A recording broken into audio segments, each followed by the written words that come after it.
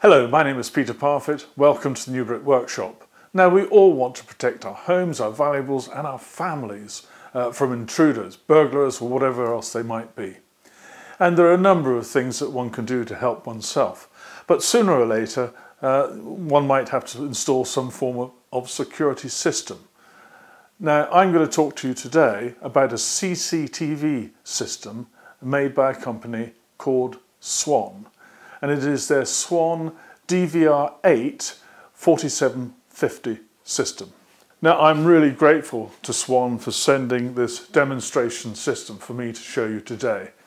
And I'm particularly grateful to the Swann technical department who've sent me a couple of extra long cables uh, to help me with the installation. Now, before I go into the, the detail about security and setting up the system in particular, let me just describe what you get uh, with the system. First of all, you get a digital video recorder, and this has a 2 terabyte hard disk inside. And that means it's capable of recording up to about six months worth of video before it has to start overwriting what it's already recorded. There are four cameras, and I've got them set up on a piece of board here, uh, just for a demonstration. And the four cameras are each three megapixels and they have a nighttime capability by having these little infrared uh, LEDs uh, here which come on at night and help to illuminate the scene. Now everything uh, that you need to set this up comes with the kit with the exception of the monitor which you see me using at the back. Uh, and if you need extra long cables, well, as I've said, uh, those are an extra, and I'm grateful that these were provided for me. Now, the cables that come with the system are each 18 meters in length. That means you can extend the camera away from the recorder uh, by up to 18 meters. Now, you do have to remember when you're thinking about these things that uh, the cables might have to go up, along, and then down again, or vice versa, down, along, and then up in order to uh, make the complete uh, route uh, between the camera and the recorder. So you need to make sure uh, that your design of your layout uh, takes that into account. Now helping me today I've got uh, Bob the burglar and you can see him just there in front of that camera and there he is on the screen of my monitor. Now one of the beauties of this system is that you can access it remotely using your smartphone. It might be an Android device or in my case it is my iPhone. And there you can see exactly what's on the screen behind me. And uh, you can get alerts sent to you on your uh, iPhone or Android device uh, wherever you might be in the world. Now let me just mention the instructions. There are three lots. Uh, first of all, there's the quick start guide uh, then there's the setup wizard that covers the uh, computery side of things. Uh, and then there's this instruction which covers how to set up your uh, Android device or your iPhone uh, to interact with the system. And these are really clear. There, there are diagrams and plenty of uh, text to guide you through the various processes. Now the DVR is very straightforward. On the front there is a USB uh, socket and then two lights, one to indicate there is power and the other to indicate that the hard disk is being accessed.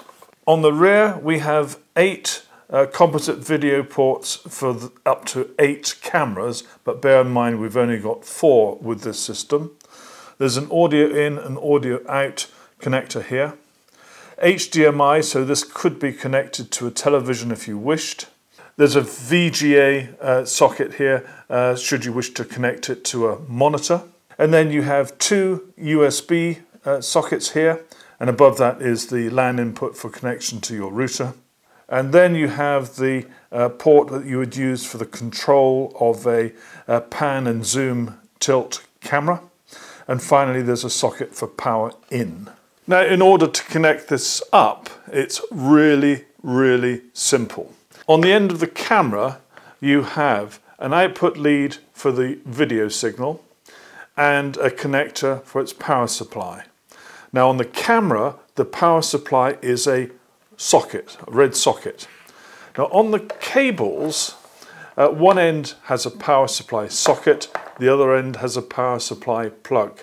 you have to make sure when you lay the cables that the power supply plug of the cable is at the end where the camera is and the end, uh, which is the socket, is close to the DVR. And then the connection at the camera end is simply a case of plugging in the power, making the connection for the video. It's a simple bayonet connector. Then at the other end, at the DVR, you have eight ports, numbered one to eight. We've got four cameras, so we're going to use numbers one to four. And you would plug your video cable into one of the numbered ports. And you do that for each of the four cameras. Now the power, for the cameras there is only one power supply, so they share the power supply amongst all four cameras. So you have a splitter lead. Here is the splitter lead. The power goes in at one end of the splitter lead. Then each of the camera cables coming in gets one of these connections here. So in that way you end up with four connections to your four cameras for power. You end up here with four cameras connected to the DVR. And that is really simple. Other connections you have to do, you have to connect uh, to your router and this RJ45 cable would connect up here and then on to your router. You then need to connect either a television uh, via the HDMI uh, socket here or a uh, computer monitor via the VGA uh, socket there. Uh, you could have them both connected if you wish, but you don't have to. one or the other would do. And finally, there is a power connection here for the DVR itself. And so the second power supply would be used to connect the DVR to power. And that is as simple as it is. It really is the most straightforward system to connect up. Now when it comes to camera placement, uh, you want to try and uh, protect as much of your property as possible with each individual camera. And that might mean that uh, one camera in particular might be covering the approach to a doorway, but also uh, the approach to a ground floor window. Or it might be covering the gate to your property and also your garage door. So just try and think about how you can use these cameras effectively. Now the angle of view of the camera is 64 degrees. And there are plenty of tips in one of the instruction sheets about how to go about placing cameras where they should go. Now when it comes to fixing the cameras there are three screw holes and uh, at the back here there's a route out which the cable can follow if you wish to then run the cable in the outside world to another place. Uh, there's a vulnerability in that of course that someone could cut the cable. Uh, I prefer the idea of having uh, the cable going directly into the wall from behind the camera. I think that's a neater solution and it's also safer. And in order to make this easier, I've made up a little template. And this template uh, has uh, three holes around the outside which match the positions of the screw holes on the camera and a hole dead center. And I'd use this placing it on the wall and I'd then use a 6mm masonry uh, drill bit to drill through each of these just to mark the position and then I'd take this away and complete the drilling and in the case of the centre hole I can get away with a 16mm hole which allows me to get all of the cable ends through. Now when it comes to passing the cable ends, whether it's uh, the ends from the camera or the ends from the actual cable, uh, through a wall, I would advise that you protect uh, the cable ends with cling film so that you don't get dust or detritus into any of these connectors.